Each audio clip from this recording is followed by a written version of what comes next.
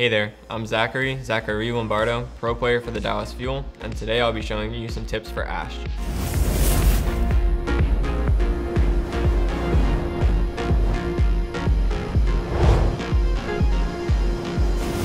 Ashe is a very unique character. She has two modes of fire, unlike most characters. So her default mode of fire is just a fast, low damage tap fire, while her second mode of fire is more of like a sniper shot. So when you zoom in, it does bonus damage, but it takes a longer time to shoot. So when you're playing Ashe, you want to know when you actually want to be using the faster shot and the more damage shot. The most important thing with Ashe is knowing when to use which fire mode. So when targets are much closer, you're going to want to use the uh, faster but less damage fire mode. So you can do a lot more damage and eliminate enemies faster. But when they're further away, you'll want to use the scoped in more sniper shot to deal more damage. A very cool thing about Ashe's damage numbers is when she's using her scoped in sniper shot, when she has a damage boost from a friendly Mercy, it does enough damage to one shot a 200 HP enemy. So make sure you're always partnered with a Mercy when you're playing Ashe. So now straying away from fire modes, we'll talk about Ashe's abilities. So Ashe's main damage is her dynamite, and her dynamite does, I believe, 75 damage on impact and 100 with a burn over time. So dynamite is very effective when you can get it on multiple enemies at a time, but it's not always the easiest to get it on them, especially in this meta with a lot of big shields and tanky characters. You can utilize Ashe's dynamite a lot easier by shooting it when it's in the air and throwing it over shields. That'll cause it to instantly explode and get the people that you want it to get. So another quick tip for Ashe. A lot of times it feels a little bit hard to hit the dynamite when it's in the air, but after practicing for a little bit, it'll be a lot easier. You can always just throw it and then use your main tap fire as fast as you can, then it'll instantly hit it without having to move your crosshair at all.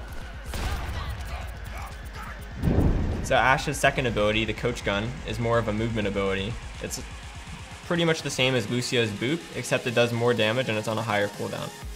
So the Coach Gun can effectively move Ashe backwards or upwards, so it's very useful to get high ground. Or if there's a target like Genji diving you, you can use it to get away. So let's say this Genji player dashes on me. I can dash up and away from him and get a clear shot on him afterwards. And now for everybody's favorite part about Ashe, her ultimate, Bob. Bob is one of the hardest ultimates to use in the game because there's no real clear game plan you can have with Bob. You can do a lot of different things. Most people, when you think of ults, it's like Zarya. You're just trying to get as many people as you can in it. But with Bob, there's a lot of different things you can do. So Bob is pretty much just a big sentry turret. When you use Ashe's ult, he'll throw out like that. And then if he hits anybody, you'll throw them up in the air like a, like a boop. And then he's just gonna be shooting for 10 seconds afterwards. So in order to get as much value out of Bob as you possibly can, you're gonna wanna put him in positions where he can shoot as many people as he can and not really get easily targeted by the other team. So for example, getting Bob on high grounds where he can see things. So on top of the gas station.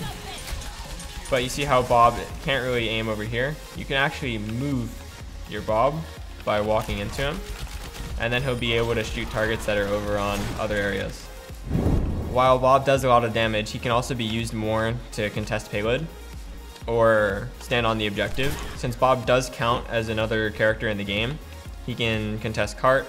So in those sticky overtime situations where you don't want to step off the cart in C9 or lose the map because you're not contesting, you can throw your Bob on the payload and he'll count as a player that will contest the payload and pretty much buy you time for everybody on your team to come back. Another thing that's unique about Bob is he essentially acts as another player on your team. So characters like Mercy or Ana can use their abilities on him. So for example, Sir Harry Hook, when Bob comes out, is able to damage boost or heal him, and the enemy team can't actually get ult charge from dealing damage to him. So in general, for, for playing Ashe, you want to make sure that you're in high ground positions where the enemy team can't really contest you, and you can always constantly get good angles to throw your dynamite. Just make sure that you're always paired with your Mercy player or another support character that can protect you because when Ashe is getting damage amped by any sort of damage amp ability in the game, she does an insane amount of damage and can pretty much just dismantle teams without them being able to touch her. So those are my tips for Ashe. Since there's not much information out there other than this, I hope these tips help you out in whatever you're playing as Ashe, whether it's quick play, ranked, or the arcade. Thanks for watching.